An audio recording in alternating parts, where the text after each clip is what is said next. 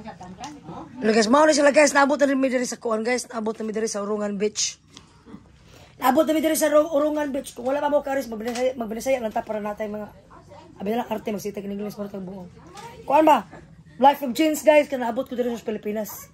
Um, sa ako mga Filipino viewers, sa ako mga bisdak na viewers, ari mo diri Urungan Beach oh, pero ang kuan gina ko ang advice na ko ninyo hapon gid mo re para ma-enjoy mo madadaan yung mga uyab para lingaw mo guys. Mag-outing mo diri sa hapon gid mo mga kay mao may tig tigdakos dagat. Ya, ipakita niyo na ko niya. Ninot man diri guys sa northern part of Cebu, Urungan.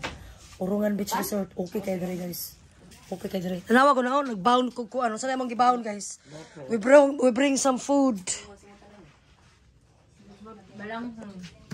Kuan, coke. Ala, nakakalo kini ako.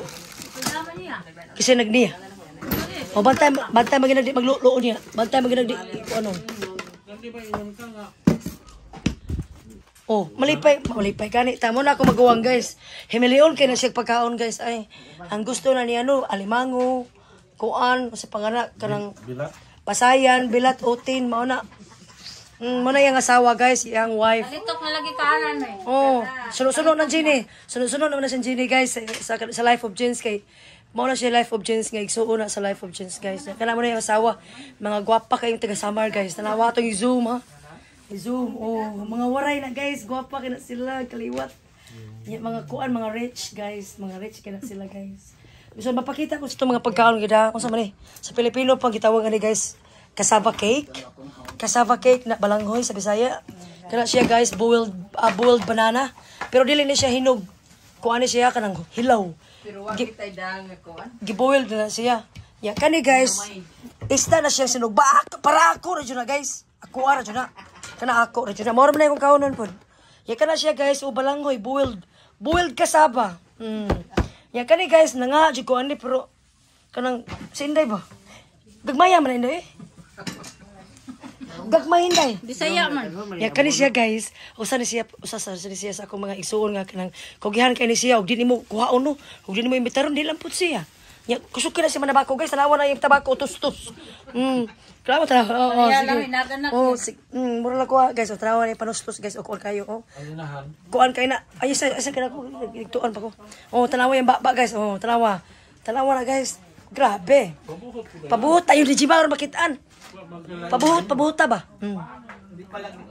Mm, may kaya na siya. Kani guys, mo ni mong mga pinakakusgan nga walay lain sa kalibutan kundi ang atong inahan sa kanunay panabang kundi si Julieta, Juliet Bantok Orsais. Unya ma, kumusta? Kumusta man? Eh, mangumusta lang ko. Kumusta mo sa pamati ni mo? Ato ko dala. Toho dira. Yan na bako sa ka. Oh, di lami pa riyan mo duha. Sige. Amo na guys. Tanawa ko ng view sa kung ano. Kani guys, mo na ako. Pinakagwapa na kong umagad, umagad. Sister-in-law guys nga. Kuan kay siya guys, lami kay siya kape-kapo. Lu- Lamian lang ko niya guys. Dili sa ingon nga nag nagkuan ko man nagbiga-biga ko kanang ganahan lang ko niya. Ay gusto nag-vlog ko. Mm, may na makakwarta ko sa YouTube, ikaw ba? Mm, lami kay siya tiil guys. Ganahan kay kuan niya guys. Kay, kuan na niya siya guys, mapahilom-hilom. Kanang she, she, you know, she concentrate with her own self. Dili siya magkanang pareha ng uban nga kuan kayo, laisyo, arty, nana. Simple kay na siya ang pagkababae. Pero unfortunately guys, her husband passed away. Kuan na niya siya guys, single single lady. Single mom, for single lady. Mm, gwapa siya. Kung, kung, kamo nakakita mo sa mga vlog sa Life of Jens, kung kisa itong mga British, Australiano, New Zealand, um, any European men, just inbox me, comment this video below, Life of Jens, if, just in case, kung mangutana mo, if in case you ask, who is the name of this lady? Wow. I will let you know. Just comment, maka-comment mo guys. Feel free to comment my video, di ba? Mm, mao na ni. Kani sila guys, muna mga pagumangkon. Nako nga kanang sa pangalan ni. Mga pagumangkon ako ba? Oh, lagi ni. Oh, kani guys, tinot kay bio tanawang bio. Ay na high life of gents. Hi, life gent. Wa di um, o sa may kastorya ninyo nganing kaning karon nga Urungan Beach. O sa may kastorya ninyo ani. Nindot og bio. Thank you. Oh, nya ikaw po dai. Hindot og Ma- diri sa. Ika na, sige, ika, ika, ika, ika, ika, ko speaker ka ron. Sige. Mm. Nindot diri ka. Kana siya guys, muna akong kaluha. Twin sister na ko ni. Hmm, pareha mig jud mignaw ani niya. Um, mangumpay sa mis bakas una, manglaw sa baboy, manglaw sa baka, maginubog tuba, kat-kat lubi. Mano, mga sikat-sikat. Kani, kani silang duha guys, sweet lover kay ni sila. Di gini sila magbuwag. Pikit kila sila likit, mura mo na sila magnet. Oh, kana kana. Mm. Mao gina sila sa una. Wait, wait, wait, wait, kiss. Why kiss? La. ya kani siya, mo ni pinakakusgan dito sa bye-bye. Kung sa patrabaho ani guys, bugat man og mga kusgan kay ni siyang tawana. Usa po ni sa akong nephew, one of my nephew. Sige guys, i-kuanta mo, itur ta mo diri guys sa view. Mm, by management Urongan Beach. Oh, okay ra kita ra may guest rong gabi una. Kay ningon man siya nga, kita ra guest karong adlaw. Busy man gapon. Nindot diri karong gabi eh. Kanang gabi eh ba? Moy nindot. Kanang hap, kanang, kanang mga alas city, alas 8 nindot kayo. Maghubo ra gyud ta guys ha. Pabuon gyud ko sila guys. Pantira, pantira ang mabili na ni sila guys. Dili jud ko musugot. Guys, this is life of Jen's YouTube channel. I encourage them, to, especially with the ladies, to just wear a suit, swimsuit only. Yeah, but because they're not getting used to wear swimsuit because they live in this province and the countryside, so everybody have their own way. So don't forget to like and subscribe, Life of Jess, and um, I hope one day you will visit here in Orongan Beach, located in uh, Anapog, San Remeo, Cebu, northern part of Cebu, Philippines.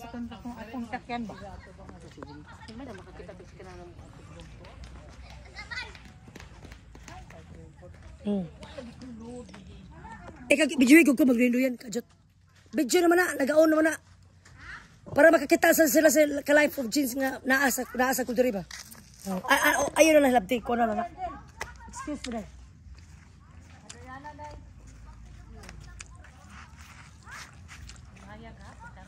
Hi guys! Welcome back to Orungan Beach Resort! Life of Jens YouTube channel! Oy guys, don't forget guys, kung visit mo sa Philippines, I want you to visit and encourage to visit in the northern part of Cebu.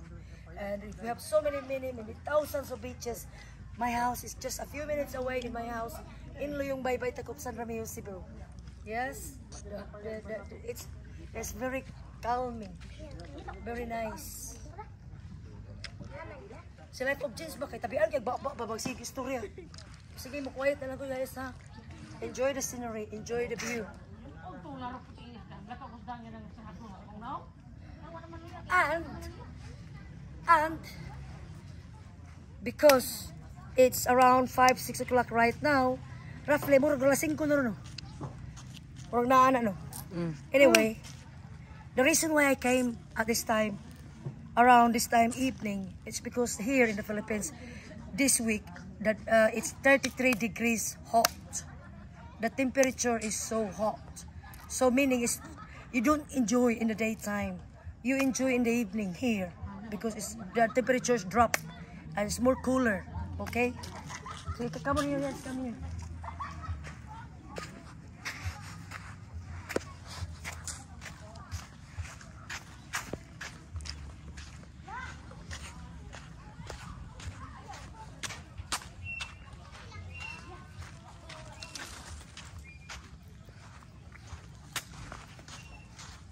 See, if you can see, the water is very calm.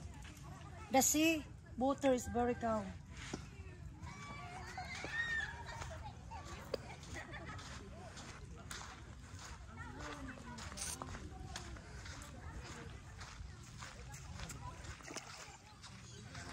See guys, this is what I like about in, in the Philippines. And the, especially around the beach area, the water is warm, not cold. See guys, this is it. You enjoy the view. Ipa-show you dito ang kuan ang mga boat. Kanawa dito, kana kana kana. Madawa na. Diha ka, diha ka. I-zoom. I-zoom ra nimo. Hmm. Nindot siya. Tapos mga guys, this is Orongan Beach Resort or located in Anapog, San Remigio, Cebu. In the northern part, not south, northern part of Cebu, Philippines. In San Romeo, town of San Romeo, Cebu. Oh, this is it, guys. Thanks for watching Life of Jen's YouTube channel. Don't forget to like, subscribe, hit the notification bell button so that you're updated of my video every time. Thank you, guys. Bye.